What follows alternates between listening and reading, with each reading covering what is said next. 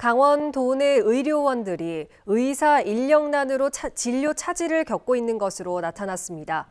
김남희 국회의원이 보건복지부에서 받은 자료에 따르면 속초의료원은 이비인후과, 피부비뇨기과, 신경과, 가정의학과, 성형외과의 다섯 개 과목 의사가 없어 진료를 하지 못하고 있고 강릉의료원도 재활의학과 의사가 없어 휴진 중입니다. 또 삼척의료원은 2022년 호흡기 내과 진료 과목을 개설하려다 의사가 없어 포기한 것으로 나타났습니다.